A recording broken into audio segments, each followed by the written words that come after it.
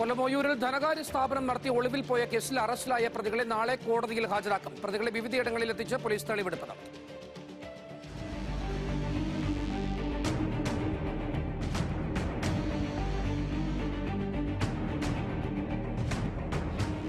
ഓയൂരിലും മരുതവൻ പള്ളിയിലും കാർത്തിക ഫൈനാൻസേഴ്സ് നടത്തിയവരാണ് ഇടപാടുകാരെ കബളിപ്പിച്ച് നാടുവിട്ടത്.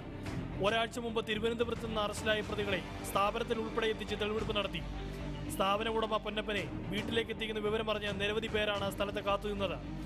വീടിന്റെ താക്കോൽ മാറിപ്പോയതിനാൽ ഏറെ നേരം ശ്രമിച്ചെങ്കിലും വീട് തുറക്കാനായില്ല. പിന്നീട് പ്രതിയുമായി മടങ്ങിയ പോലീസ് അരമണിക്കൂറിന് ശേഷം മേസ്തിരിയെ എത്തിച്ച് വീടിന്റെ വാതിൽ പൊളിച്ചാണ് പ്രതിയുമായി തെളിവെടുപ്പ് നടത്തിയത്. ഓയൂർ കിഴക്കേ ജംഗ്ഷനിലുള്ള സ്ഥാപനത്തിലെത്തിച്ചും തെളിവെടുത്തു. ഇടപാടുകാരിൽ നിന്ന് പണയമായി സ്വീകരിച്ച അഞ്ഞൂറ് പവൻ സ്വർണാഭരണങ്ങൾ ഓയൂരിലെ കെ എസ് സി ബിയിൽ പണയം വെച്ചതായി പോലീസ് കണ്ടെത്തി. കൂടാതെ അൻപത് ഇടപാടുകാരിൽ നിന്ന് ഒരു കോടി ഇരുപത്തിരണ്ട് ലക്ഷം രൂപ നിക്ഷേപമായും സ്വീകരിച്ചതായാണ് വിവരം. ഭാര്യയുടെ പേരിലുള്ളത് ഉൾപ്പെടെ സ്വന്തമായുള്ള വീടും സ്ഥലവും വാഹനങ്ങളുമൊക്കെ വിറ്റ് എല്ലാ ഇടപാടുകാരുടെയും ബാധ്യത തീർക്കാമെന്നാണ് പൊന്നപ്പൻ പോലീസിന്റെ സാന്നിധ്യത്തിൽ ഇടപാടുകാരെ അറിയിച്ചിട്ടുള്ളത്.